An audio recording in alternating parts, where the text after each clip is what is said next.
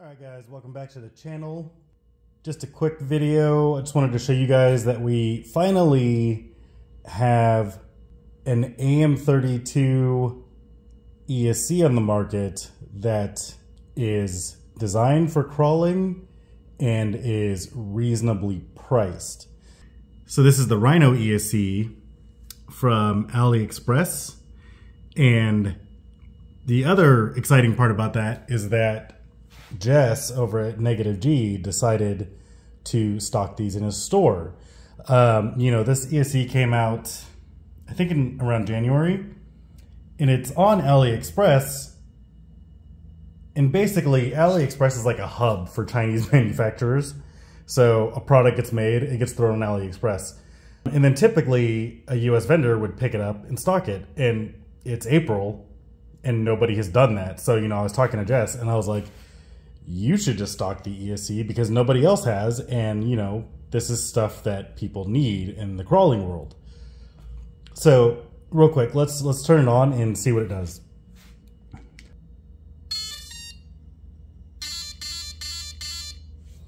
So that's a Team Broad Brood Riot 1600 kV. So if you guys aren't familiar with AM32 based ESCs, the first part of the throttle, in my case, the first 25%, is what's called sine mode. And so sine mode is really slow. And what happens is in sine mode, if you're holding a steady throttle and you, you know, hit an obstacle, the ESC will recognize that you're still holding a steady throttle and it'll adjust the motor RPM to match your throttle so it never stalls.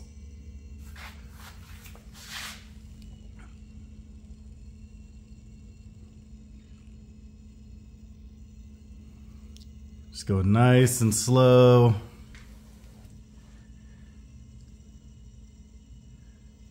So that's that's what sine mode is. And now mind you, a lot of people when they get these at home and they like to test sine mode, if you just drive in sine mode for a long time, it'll generate a lot of heat in the ESC.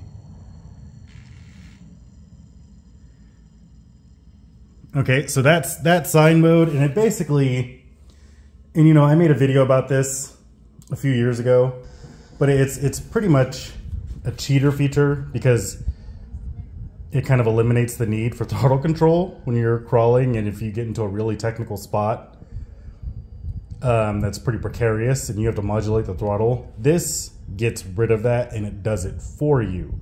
But you know, we're driving cheater rigs. This is my negative G CC V1 with cap axles. You know, might as well have a cheater ESC too. and then when you get past 25% throttle, it switches to normal mode. Here, let me see if I can do it on the table. So, sine mode, and then that's normal. You can kind of hear it change.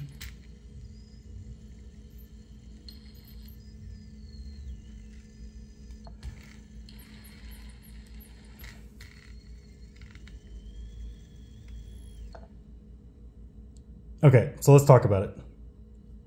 Now, when you get one, it's not going to look like this. I cut the shrink off and just desoldered the factory wiring. That's something that I always do because I like to wire my electronics to fit. So it's, you know, a direct connection to the motor.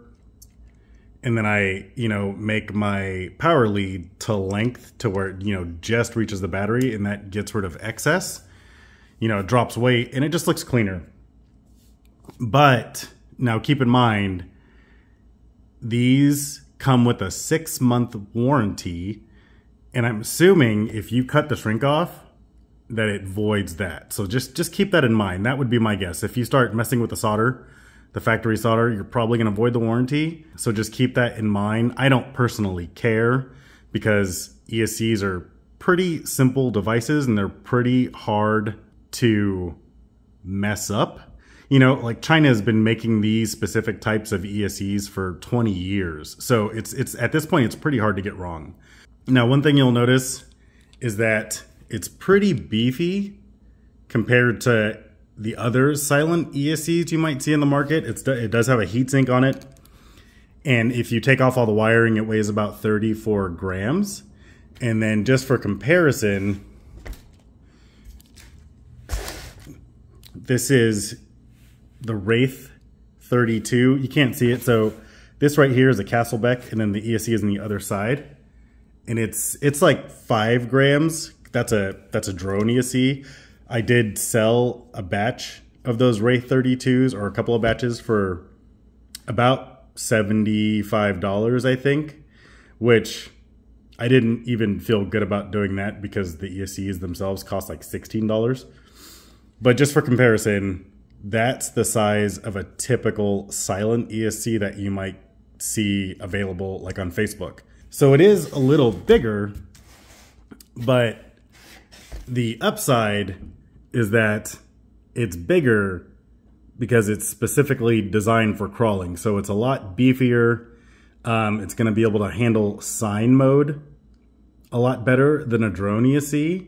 And I have this working theory that when it switches from sine mode to normal mode, this particular ESC is pushing more current than a drone ESC because I'm able to run my startup power lower on this ESC.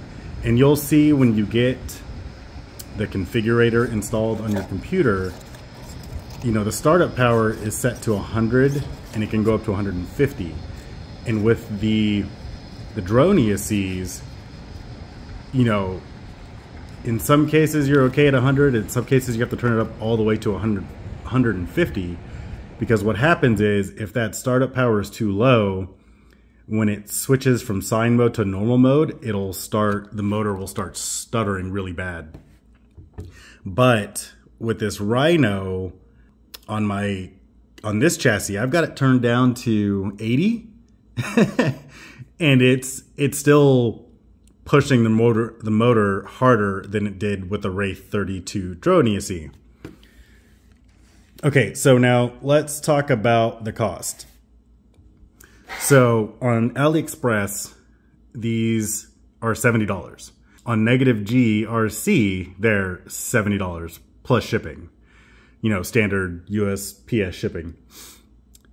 Now, that is a huge deal because the only other silent ESCs on the market are the Crawlmaster V2, which is pretty expensive. And then you have a bunch of different like individuals selling silent ESCs. But again, all of those, aside from the Crawlmaster, those are all drone ESCs. And they're selling for like anywhere from 120 to 150 or 60 dollars, which and I, and I know people are you know capitalizing and you know filling a need, but it's insane because you're paying hundred and twenty dollars for a drone that cost anywhere from fifteen to thirty dollars. You know, there's some wiring and programming involved, but not that's worth a hundred plus dollars. That's just insane. So I'm really glad that there's this Rhino ESC out now because it's reasonably priced. And this is actually made by a company called DYS out of China. Um, I've worked with them a lot in the past through drone racing. DYS is a huge manufacturer of ESCs, and they have been, like I said, for decades. So, you know, this is a company that knows what they're doing. It's not a repurposed drone ESC. This is an, an ESC designed for AM32 for crawling. Okay. I guess the only con is that it weighs 35 grams. But if you're someone that historically uses Castle ESCs, then that's still, you know, quite a big weight savings. Some other nice features about it, it does come with a power button. Uh, you know, one press to turn on and then long press to turn off and it also it's on the underside you can't see it it comes with a 10 amp 8.2 volt BEC so like this truck on my class 1 truck because I'm not running a direct powered servo I have a Castle BEC and that's an extra, you know, that's extra weight. That's like they're like what, 15 or $20. So if you're not running direct powered servos, you basically just have to wire in the ESC and you're good to go. You don't have to mess with the BEC. You don't have to mess with the the power wires, so it just makes for like a really clean install if you're not using a direct powered servo. It is rated up to 8S and 80 amps. The amp rating is is uh, arbitrary. It doesn't really matter in this case because crawlers don't pull any current at all. I made a video about that that I'll link in the description, but they pull like 10 amps peak. So so the amp rating of an ESC is totally negligible and you can ignore that when you're talking about, you know, LCG crawlers. All right guys, um something I forgot to mention. These do come with the USB linker to connect to the software. So I'm just going to hook it up really quick and just show you how it connects. It's this piece. So USB-C just plugs into the, I think the signal wire goes to this side. And then we're going to come over here and plug it into the laptop. Okay. So this is the configuration tool. That's annoying. Hopefully it's plugged in correctly. So you want to hit direct connect and then select your COM port, connect, and then click motor one. Oh, didn't work. Okay, so it must be plugged in backwards.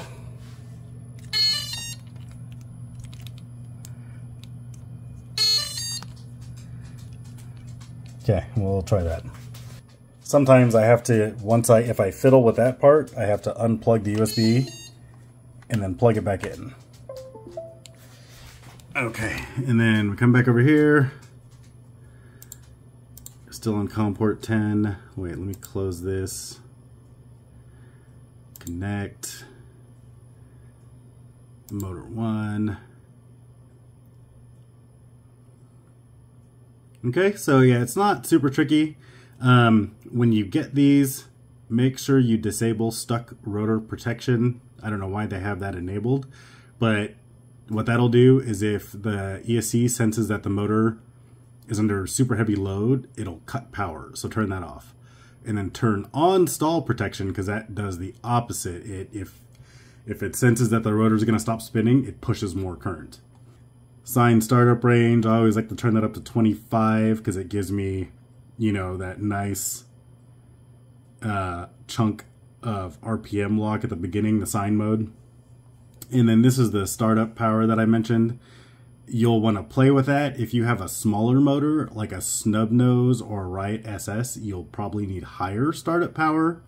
But in this case, I have a big motor, so I can use less. And the reason why you would want to use less startup power is because it's smoother when it switches from sine to normal. I think that's about it. All right, guys, that's going to do it for this quick video on the Rhino ESC available at negativegrc.com.